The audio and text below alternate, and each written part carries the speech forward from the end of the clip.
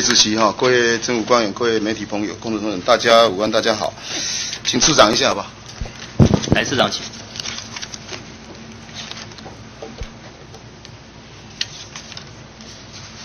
张委员好，市长，你好。呃，上次见到你到现在四大概一两个礼拜了吧？有两个礼拜好像。两个礼拜啊。对对对。呃，看来你这个哦，英姿焕发哈，非常好了哈。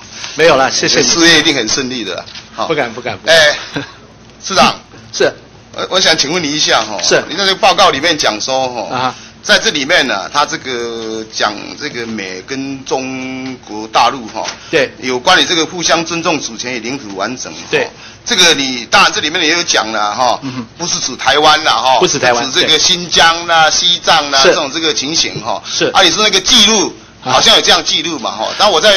媒体的这种报纸里面哦，没有看到说他有记录说他是指这个新疆跟西藏，你能不能够说明一下，或者说有没有这个资料，好不好？谢谢委员，他所谓的记录是美国方面在会谈时候的记录，不是一个公开的一个东西。啊哈，所以在公开的东西里呢，他特别把台湾部分跟后面那个就是互相尊重领土主权分成两段，以做区别。啊，所以这从这个分两段，我们就可以看出来。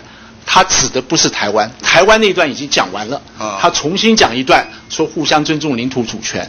那么在会议，他们就是美国跟中共双方会谈，在美国的记录里，是是，美国人跟我们讲很清楚，他是指的新疆跟西藏，不是这个里面。当然，市长所讲我们都相信了哈。是。那刚才所讲这个会谈里面哈，你是说美方的人跟跟您讲的，或者说你有这样看到这个记录？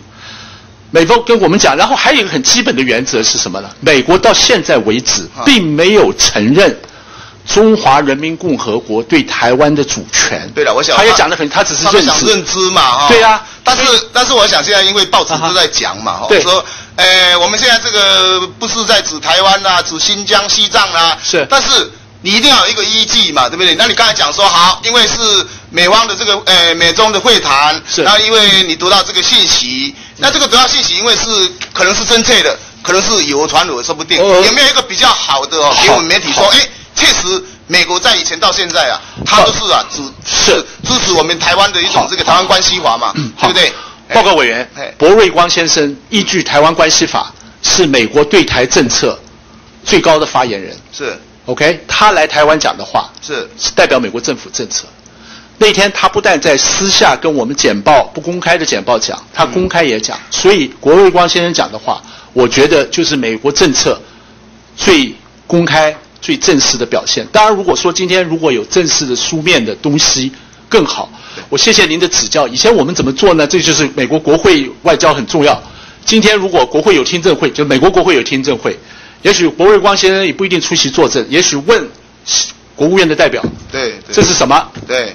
那国务院说哦，就我们只是指新疆，现在不是指台湾，我们对国会记录有，那就有白纸黑字。我今天的讲这个跟市长这个讨教，就是希望说，因为我们在报纸上所讲的，是大家看有人讲 A 有讲 B 啦哈，那我希望说是不是说在这个以后哈，呃，市长有遇到这个有关你呃有关你他是指这个新疆跟西藏没有包括台湾哦，有这样的一个发言啊记录，然后是有什么样的一个好刊载哈。是不是能够送给我们的报章杂志说，你看这个就是一个依据啊，不然他们讲说啊，哎，那个都是谈谈谈谈而已啊，对不对？啊，你做干做干口啊，结果来讲啊，那种谈谈谈谈而已啊呢。谢谢。依据就别再公布啊，谢谢，信不信？谢谢。我想这个这个委员提醒的很好啊，我们是不是请国我们国会的朋友啊，他是不是可以书面咨询国务院啊？对对对。那么国日光先生既然在这边公开讲，我想他讲话也不是随便讲。那当然了。他这就是我最开始报告，他这是为了来台湾。连夜，他们那边从奥巴马他们从亚洲回来，下飞机，他说衣服都没有换，就跟他做简报。整个周末他们都在简报，所以他礼拜天晚上到台北，礼拜三早上飞走，因为礼拜四美国感恩节，他赶回家过节。是啊。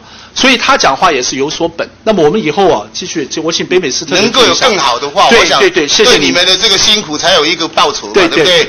不要你刚你你刚才讲是个博瑞光讲，但我们都相信了，他不能随便讲啊，那就是代表政府嘛。是。你看那个日本的这个齐藤啊、塞豆啊，他就因为一句话，那自己就下不了台嘛，对不对哈？所以我想这个情形绝对不会说假的了，但是。很多人的看法就有很多不同的情形出来。我们希望说哈，能够有加强你的这种这个说服力嘛，好不好？啊，这个第一点哈。是，谢谢。第二点哈，就是说你这个美国将持续履行对我经受的这个承诺哈。啊。那当然这个没有错了。我们上上次我看到这里面，我们 F 十六呃 CD 这个也正在还在谈嘛哈。是。呃，也没有说他以前我们提示他把我们拨回嘛，呃不把我们这个说这个呃不能卖给你们，也没有这样讲嘛，还在讨论嘛哈。那至于那个浅见哈，现在到底是怎么样？我跟委员报告啊，我们就美国的军售每一项，当然都是比较敏感的问题。是是。这次博瑞光先生来，我们当然也有一些讨论啊。但是就像他所讲的，每一个项目呢，都是在评估之中啊，没有排除任何项目。对。但是他也很负责任讲，没有时间表啊，因为决最后决定是美国总统要做。但是我们能做的是什么呢？就是刚才也跟其他几位委员报告过。第一个，国会有两个决议案，国会决议案希望能推促行政部门快点做决定，做更好的决定。美国意见领袖很重要。我跟委员报告，最近我们发觉有个美国前任的一个军事将领，忽然在一个报纸写一篇文章，说美国不应该卖武器给台湾。我们马上找人写读者投书。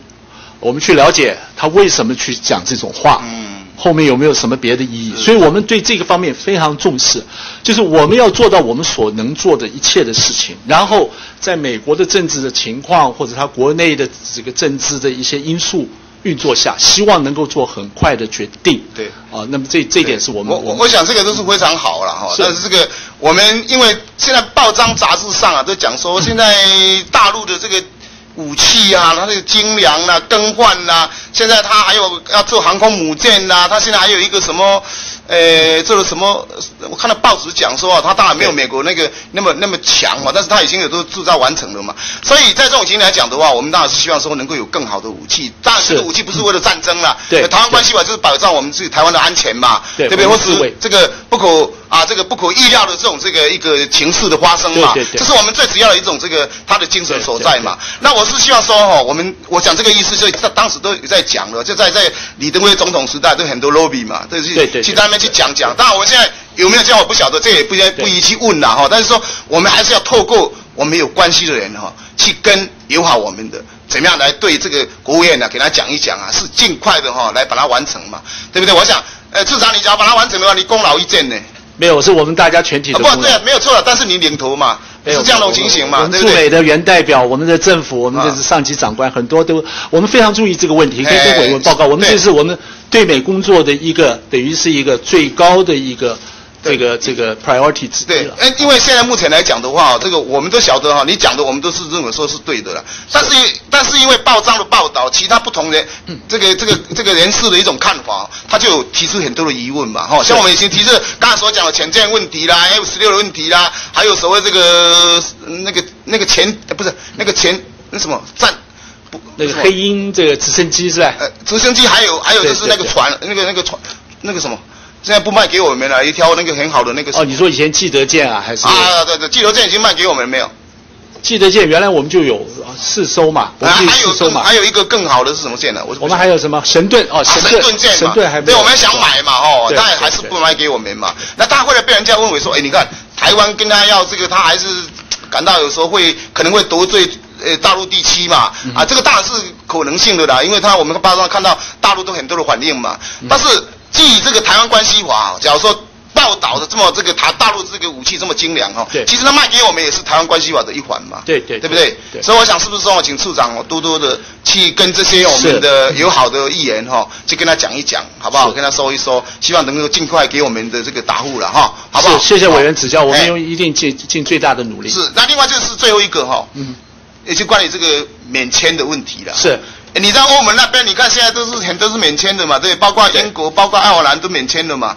好，那现在当市长哦，当然这里面讲说我们要护照要清办啦，啊，这个护照清办了，可能当然是怎么技术性的问题啊。不过这个要每一个人去清办，可能也有也有一些啊没有便民的这种情况，什么去使他能够清办？那我们清办以后，他是不是真的能够给我们这一个啊一个所谓这种这个免签的情形哈？那在这边报报道是说美呃美方啊扣。是筹组一工作小组访访华嘛？以我相关部门就提升护照安全进行咨商嘛？哈，是。那这个有没有在做了？对，现在跟委员报告，大概现在这个团要来，就是美国政府自己内部在筹组啊。那么我们的了解是，它里面当然包括它的国务院的人，还有国土安全部等等等等各方面的人啊。国务院的这个整个是非常正面的。那么最主要就是看我们这这个护照，因为我们护照不清办的话，有的时候是发生过这个你也知道，有的时候违变照等等情形。现在我们就外交部在研究，怎么样在便民的情况下，啊，也可以保障我们护照的安全。对。让这个不管是美国、欧盟给我们免签的国家，都很放心，说这些人拿我们护照都是我们中华民国的优良的国民啊，不是什么外面人来来冒领的。对对。那么这一点是我们现在要做的。那么这个美国是也许比较最难啊。我上次在这里报告，欧盟，你们大概再给这个六个月的时间。欧盟虽然现在政府开始改组，那么欧盟现在就是行政部门大概已经差不多了，就是等欧洲议会要通过。美国现在就行政部门，我们还要继续努力。那最主要把美国对我们护照安全的疑虑，能够把它去除。所以他这个团来呢，可能就是要了解我们护照到底怎么办。对对对。哦，我们要自自己。所以外交部这个方面，我们非常。那天我们在 外交部五楼有个这个听证会，也很多人来参加。我们希望能够兼顾便民，然后能够做到这个免签证。因为这个哈，上次我也跟市长讲过嘛哈。是。美国假如能够免签的话，表示我们国内的一个。发展了，到了某一个地步了。那他为什么他不给你免签？为什么有的可以免签？好，那就是表示我们台湾还有很多要改进的，不只是说这个护照清办，还有其他的问题都在里面呢。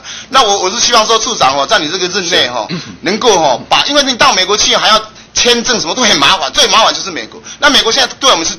跟我们是最密切关系嘛，对不对？是。那很多人都希望到美国去留学啊，到那边去观光啊，等等哈，那交往啊。那假如说我们能够达到这一点的话，我想应该是我们现在目前外交部要极力去做的了。我想我们把一切的数字啊，一切正面因素，通通告诉美国。你比如说，我们跟美国一个礼拜中间有四百班飞机，嗯，两百八十班是客运，一百二十班货运。对。然后跟欧洲一个礼拜待一百二十班飞机，我们都告诉他们，如果免签证达成。大概会增加多少？以我们对日本的经验，那这个东西对大家都有好处。那么你如果需要更多的班机，你需要还买更多的飞机，那这个东西带动是一大片的文化的交流，各方面的交流。所以美国，我想在政策上，在对外政策上，他们很了解，也很正面，国务院也很正面。但现在是国土安全部，这批人因为有九一一的这个阴影在脑子里啊。要说服他们说，台湾中华民国的护照申领的程序绝对是安全、绝对正当，那么这样子才能帮助这个免签证的得到。在这一方面，我们一定要做到。那您所讲的我都很同意的哈，但是就是说我们要积极去推动了。对，使他能够跟免签的话，我想我们台湾地位就是在国际里面就提升很多的了。对我们国民素质是很大的肯定，国家发展的肯定，也对我们今天马政府的外交政策就是要与民众利益最贴近。所以这个免签证，不管是美国是欧盟，都是我们努力的重要目标。这个最后一季了，就是很简单说，美国这样的一个免签呢，是它的未来性大概怎么样？我觉得上次我在这边讲，一年之内，美国跟欧盟都是我们努力。欧盟我比较有把握，因为我刚从欧盟回来。美国因为国土安全部这一块啊，我不晓得他还有什么顾虑啊。那么这些他们有些安全性的，国务院这方面还有美国国会，我觉得没什么问题。但是国土安全部你也知道，我我讲句也许不是很好的比喻，就像我们当年的警总一样了。那他们那个心态，你要怎么说服他们啊？也许我们这不是一个外交政策问题，就是在护照技术方面。而且好像因为时间关系哈，我那我们寄望我们的处长哈，跟我们的外交团队啊，能够好好的哈，把我们的中华民国的这种声望啊，能够往上提升。看这个美签呢，它非常重要的一个指标了。谢谢，谢谢委员指教，谢谢。